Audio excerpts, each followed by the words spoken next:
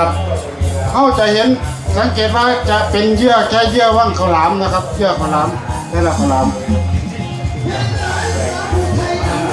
โอ้ยมันกินเม็ดใช่เยื่อคือเยื่อห่อข้าวหลามที่เป็นไม่ไหม้นะครับเยื่อมันจะเป็นเยื่อแห้งๆนะครับบ่บ่เมือกนะครับบ่บ่บ่ใสนะครับ เดี๋ยวเข้ากับว่ายากคณะวิทยากรจะเข้าไป ให้ในชั้นสูงอีกทีหนึ่งนะครับเดี๋ยวท่าอาจารย์รู้ได้จะเก็บเป็นแถบไปเมื่อนะครับประมาณเดือนหนึ่งครับเดือนหนึ่งสามนาทีเฮ็ดได้บ่ประมาณนะครับประมาณถึงตอน้ำยางมันยู่จุดไหนนะครับเมื่อจังหวะนะครับ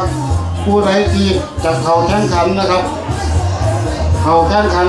ท่าทางต้องได้นะครับฝ่ายคู่มวยต้องสวยนะครับ มีลีลานะครับมีลีลานะครับ การกระตุกมือการเดินสลับเท้านะครับ จะต้องให้สมบูรณ์แบบนะครับอืมย่อตัวลงพร้อมนะครับ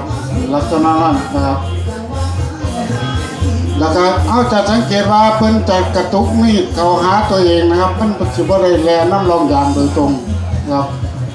ไปเรื่อยๆนะครับหลังจากเพิ่นกินแล้วประมาณ แถบหนึ่งก็ประมาณ15ถึง18 ครั้งนะครับ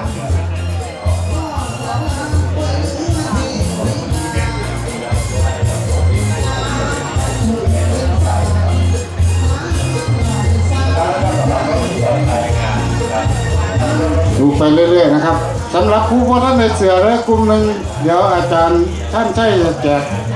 แจกให้นุ่งทุกคน เสือตัวนี้นุ่งสามมือ แปดเก้าสิบแต่ซักนี่เหรอซักซักกลับไปซักแห้งเรื่องๆหรอกครับซักตากไว้นุ่งเขาสิเป็นสีชมพูตลอดนะครับสามภายในสามมือเท่านี้